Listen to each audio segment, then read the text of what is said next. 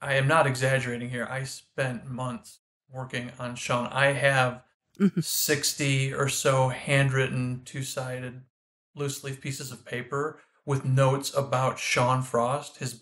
backstory, where he was Mhm. raised, you know, the toys that he played with when he was young, you know, millions of things that will never get into the book. Um, and a lot of that was inspired by a book that had come out just recently, um, Character by Robert McKee.